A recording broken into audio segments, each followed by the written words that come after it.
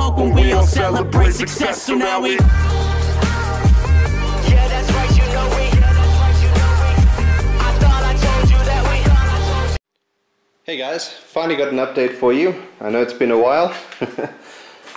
so, these are what's left. There's one on each side. The remains of an outer CV. Basically I put those in to protect the wheel bearings while the vehicle was uh, in storage and being moved around between panel beaters and garages and things.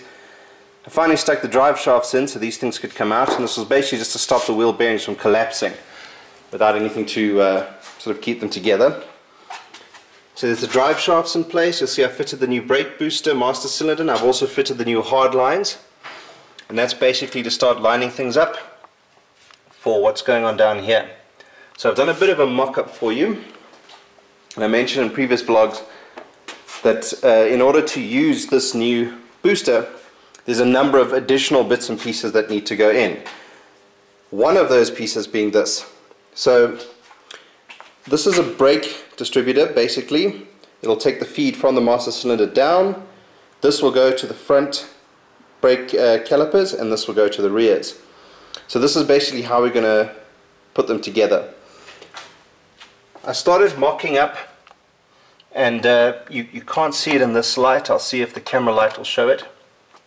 So basically these marks here, I used a punch to sort of mark where I need to drill so I can do a pilot hole and uh, basically I need to expand these out in order to get the riv nut in before I can actually use the insertion tool and create a, a sort of a captive nut in the uh, lower part of the wing. So that one's kind of where it needs to be and this is how we're going to do the uh, let me turn the light off here. This is kind of how things are going to be. I'm going to have a this is a 5 mil bolt small washer small washer nut oversized washer riv nut. Now the riv nut doesn't look like this when it's in the car. Uh, so this perforated edge here camera light still not off there Focus. There. This will collapse once I use the uh, insertion tool. And that'll basically bring this 6 mil nut up almost in line with the lip here. And that's basically it. I'm going to have the two, I haven't decided yet.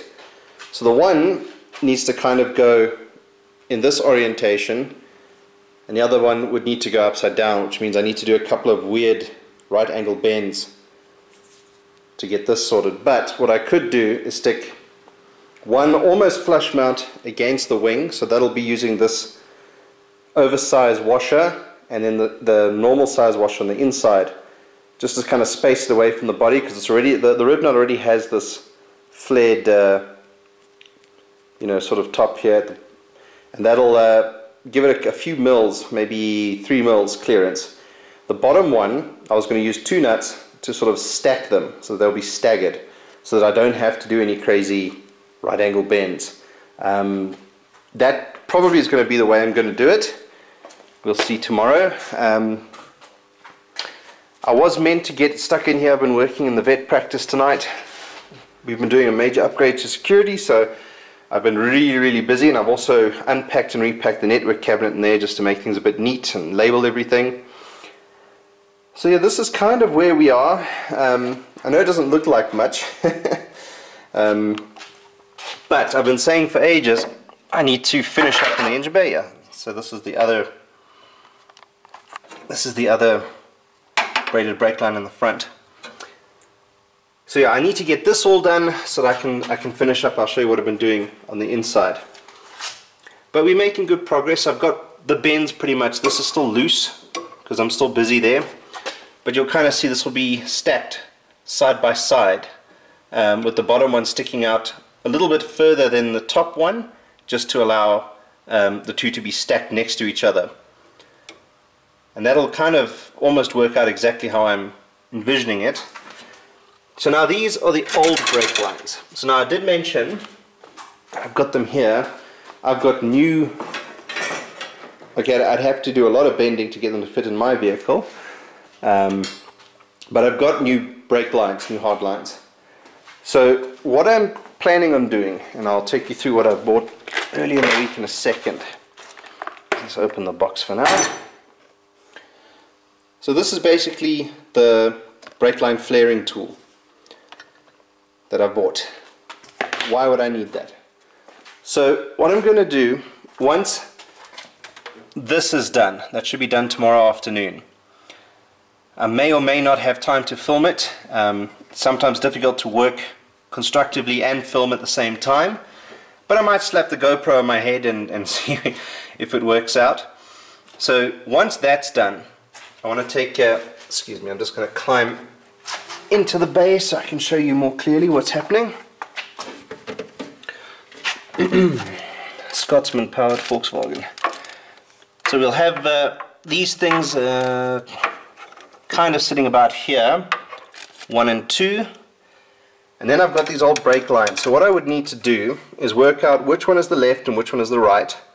I'm pretty sure this this one is the right hand side, sorry, left hand side, and this is the right hand side.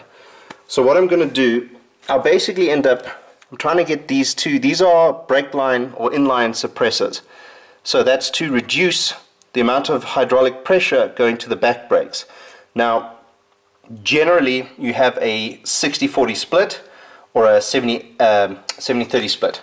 With the front brakes, because the engine is here and they're disc brakes, these brakes need to do the most work and the rear brakes are going to do less. Um, and that's just to, uh, obviously you want, you want the more braking power in the heaviest part of the car, and that would be the nose. Plus these wheels move while the others are slaves, they basically just drag behind. So these reduce the amount of pressure going to the rear drums. Apparently they're also supposed to stock lockup, but I think that's a urban legend. I think this is literally this is going to be baffled inside. I do have a spare one I should try and cut open with a Dremel disc or something just to see what it looks like. But I, I imagine that this is baffled inside to reduce the pressure from the splitter which comes from the master cylinder. So obviously you'll see there's not one in the front. So it'll come from the master cylinder and basically I have a bit of pipe that'll meet up here and I'm good to go with the front brakes.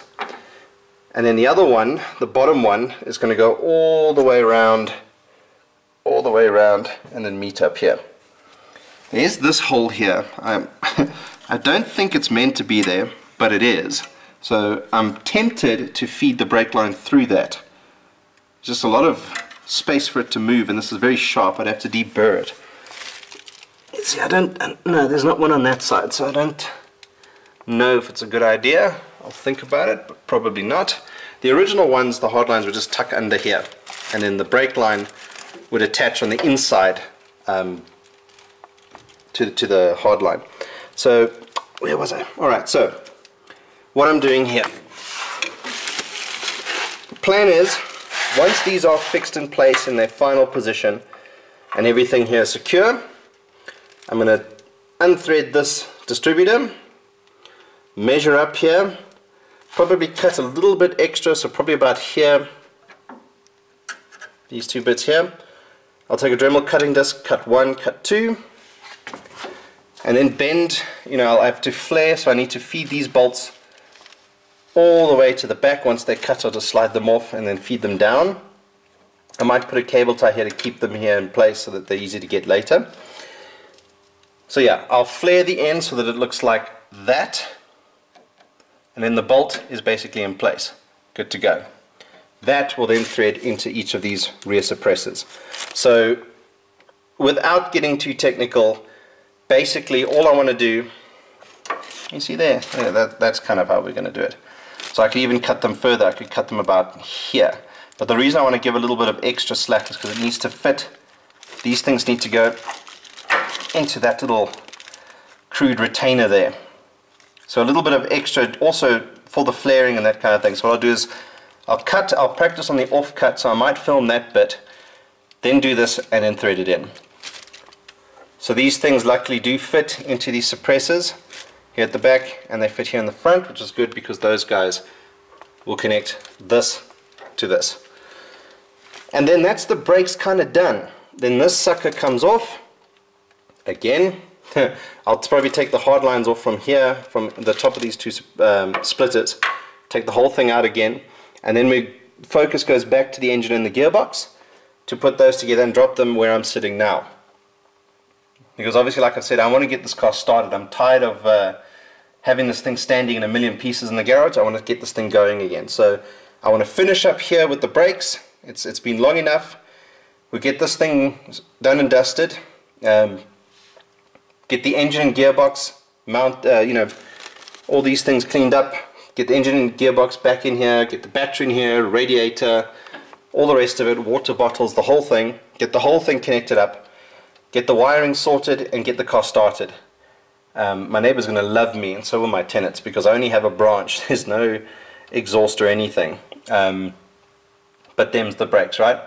I need to get the car started so I can make sure that everything's still working. I need to get the old engine oil flushed out of it. I haven't started on the engine yet. I've been focusing on getting all of this finished before we start playing with the engine. So we're making some good good progress. I know it's very slow, um, but we are making some good progress. Um, this is the closest we've been done. So before this weekend, guys, before this weekend is done, Sunday evening, if I have to stay in here till about 10 o'clock, I'll probably be able to finish this all on Saturday. You know, by Saturday evening, we should all be done. Um, so this will basically be part one of two, or possibly part uh, one of three. Depends how the uh, the weekend goes. Um, but yeah, these brakes should be done. I'm going to stop now so I can get out of here, and I'll just take you into the cabin and show you what I've done there. Cheers for now. And here's one for the keen-eyed observers. You'll see that all the surface rust has now been treated. It's been converted. That's what the black shiny stuff is. That's where the reaction has stopped. So now I can finally, finally, finally clean all this up. Give it a final wipe down. I see I missed one or two spots there, so I'll do those before I go upstairs. Also had to do a bit on the firewall. But yeah, so that's finally done. So that means that the soundproofing project can now carry on.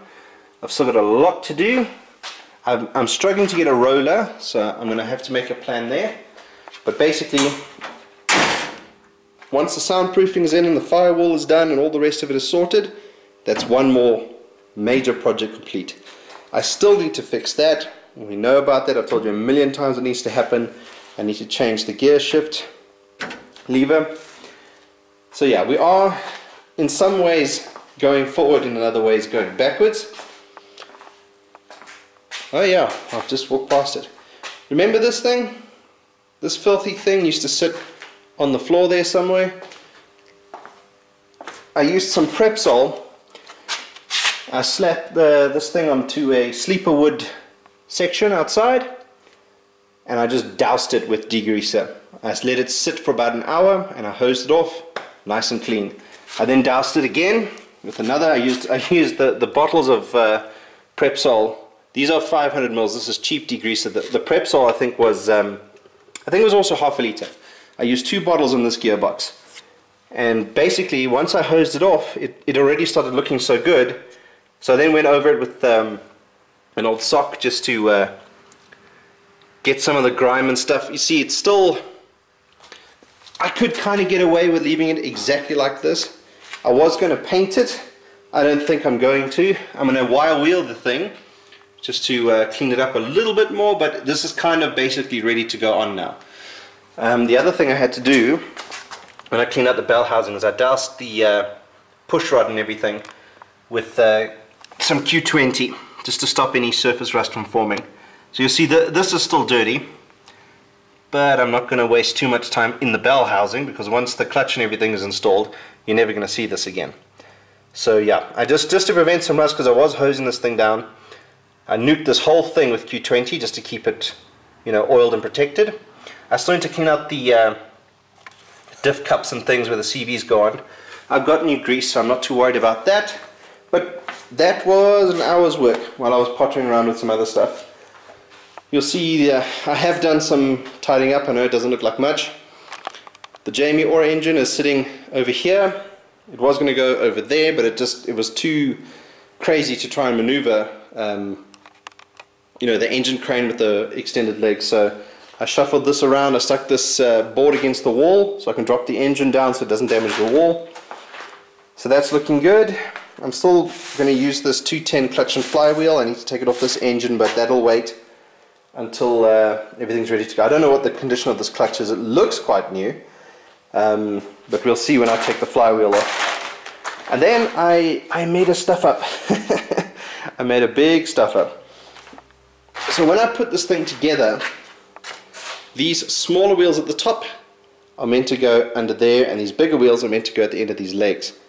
So what's happening now is when there's load in the front, it's tilting forward. Um, and that's because the wheels in the front are too short. So all the weight then shifts forward and it's, you know, I have to stand on the back to counteract the weight in the front and then someone has to push me, the crane and the engine around. So that's not ideal. I need to be able to work on this myself. So that's another thing, but I, I want to focus on the brakes first before I do this. I need to lay this thing on its back and swap the wheels around and then we should be fine. Um, still very happy with this, very happy with this. I'm going to fit my punching bag soon. And then I need to make a plan on uh, long-term storage. Um, it's kind of fine here, I'm happy with it here. Um, but I would like to put something, a hook or something, or a raw bolt or something in the wall so I can hang the load level and the hooks up.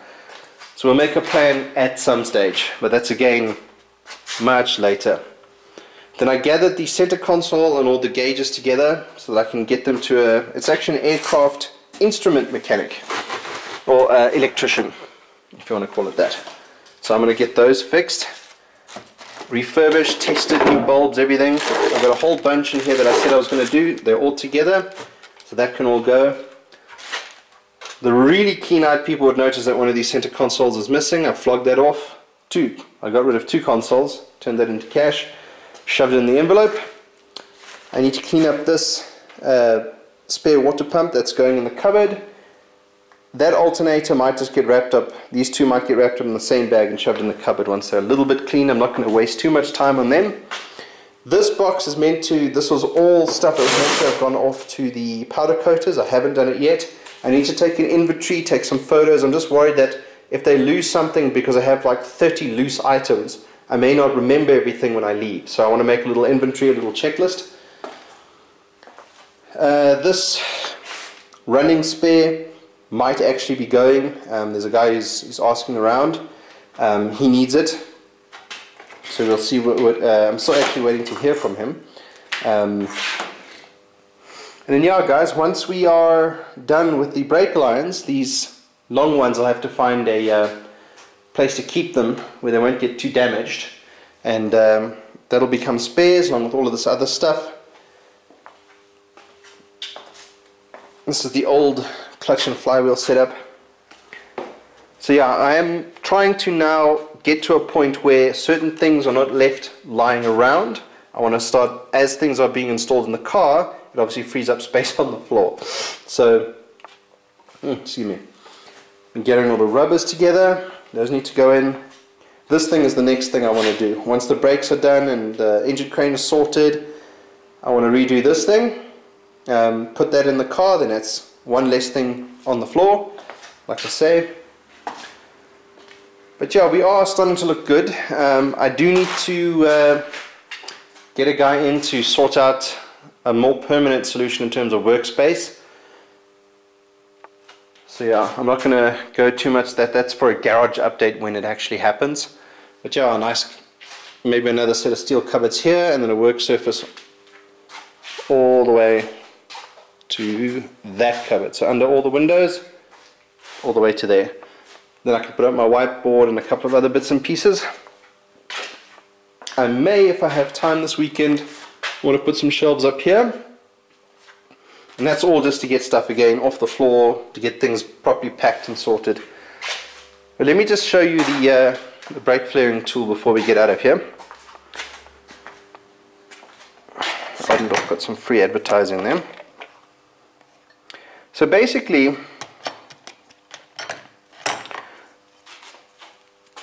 I think this is metric.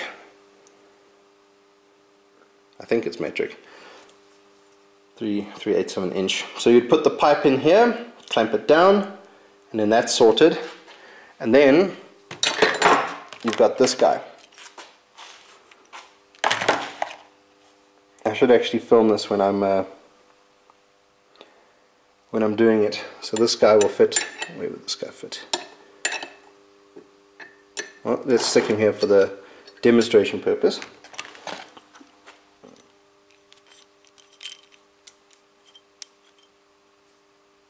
Now this thing will wind up.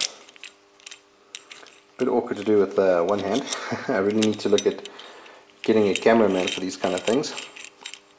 But basically, once you've got the unit in place and you've got the right size, it's this thing here that'll flare the brake line out.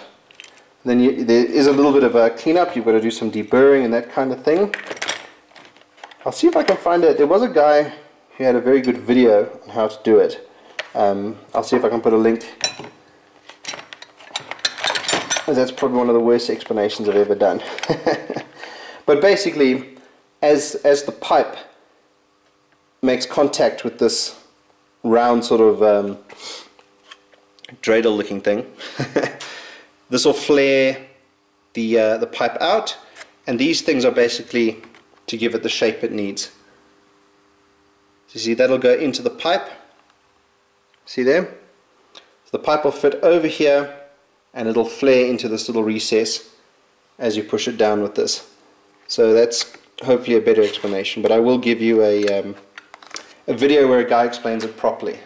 And this, this was a worthwhile buy, I think. I know some people don't agree, but um, yes, I'm, i may only use it once, but you never know. Um, I do have another vehicle I'm looking for, and uh, basically the reason I need all of this stuff for this vehicle, this is an unplanned purchase. This whole brake experience was completely unplanned, but uh, life happens, and it's forced me to go a certain direction and I need the tools. And um, the reason why I want to own my own tools is so that I don't have to borrow from other people. Some people are like, hey, yeah, borrow my stuff, till you actually borrow it, and then it's a problem.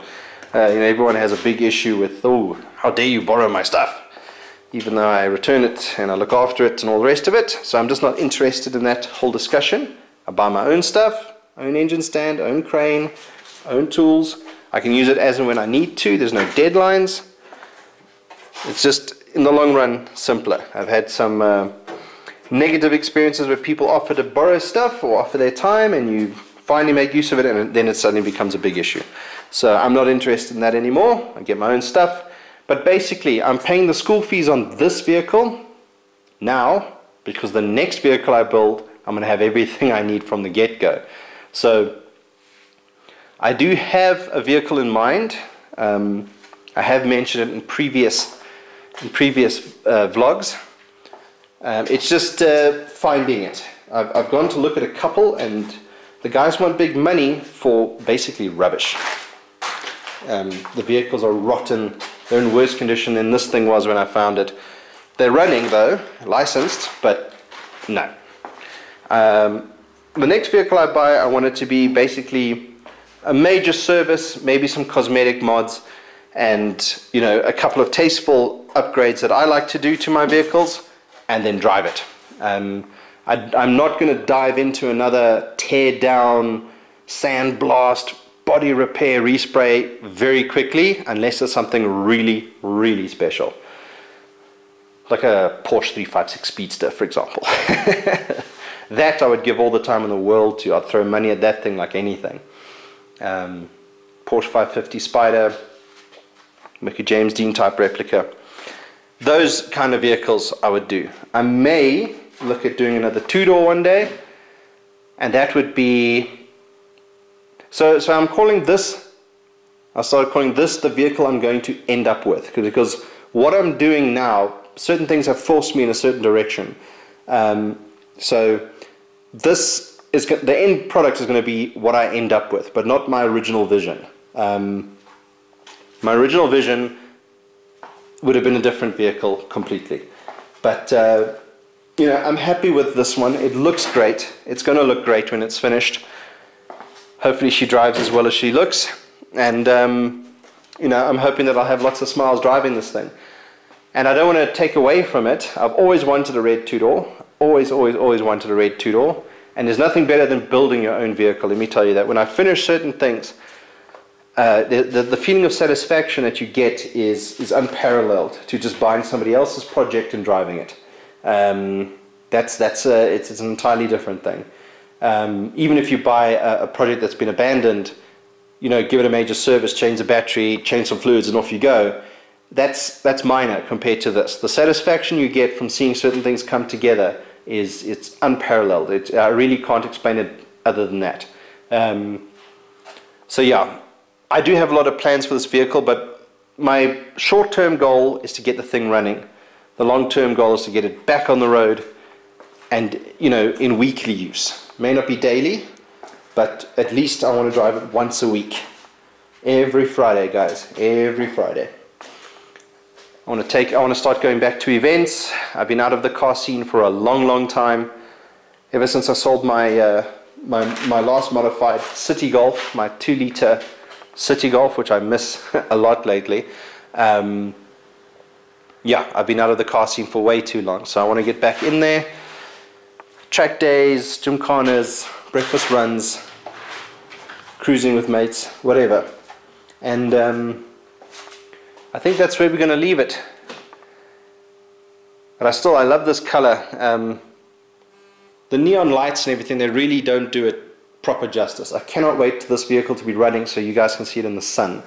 Um, and before I do that, I'll, I'll try and white balance the camera properly to try and really, really get this red. This red is amazing in the steel, as I call it. It's, it really is good. And um, yeah, the, these artificial lights and the cameras and, and, that sort of stuff, it really doesn't do this car any justice. Um, I did show you guys the, the new cluster I got. I haven't, here's the engine and the, the boxes, the uh, air boxes. I need to still strip one and uh, fix up a few things. I'm missing a very crucial component that I need to find. I may have to fabricate it though, I don't think I'll be able to buy one loose. But that's, uh, that's an issue for another day. I'm still a long way from having to worry about that. Um, the engine still has to go in, wiper motor, wiring, the car has to start. You know, uh, there's, there's a long way to go before I have to worry about that.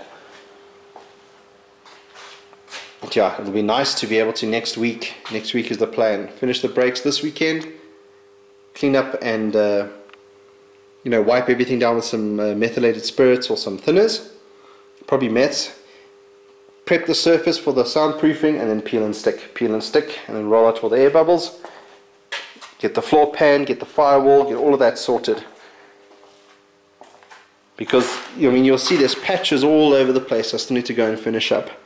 Um, but obviously I don't want to I don't want to risk running out of this stuff doing all the patches in the back while I still have all the front to do and I have to do the tunnels and, and all the rest of that. All of this underneath and then any surplus. Now, I don't have the panel here, but there's a really, really nice, it's also STP. So all my stuff here is STP. Um, it's a really, really big panel. So I want to line the inside of the dashboard skin with um, some soundproofing material as well. And obviously I bought these dog blankets to, to cut to shape on the inside. So once the soundproofing is installed in here as well, and the wiring and everything is in there, we'll just cut the, the shape. Basically what I'm, what I'm trying to do is fill up all the cavities and voids so that there's no squeaking and rattling and, and that kind of thing.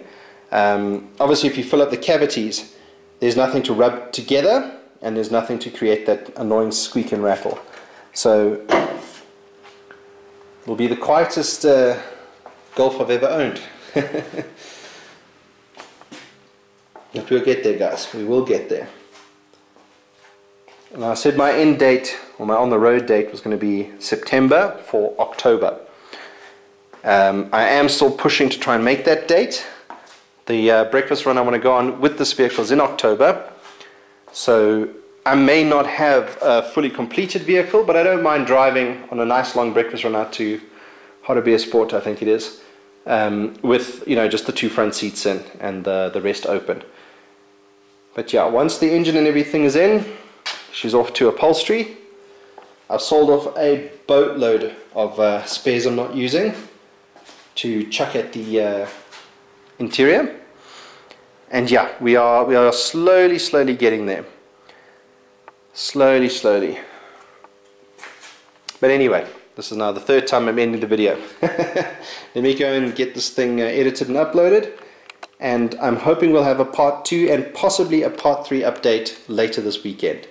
Um, like I said, I may not be able to film myself doing the work because uh, some of this stuff is very finicky and to try and set up a camera on a tripod is a bit of a pain. But I may have the GoPro on my head.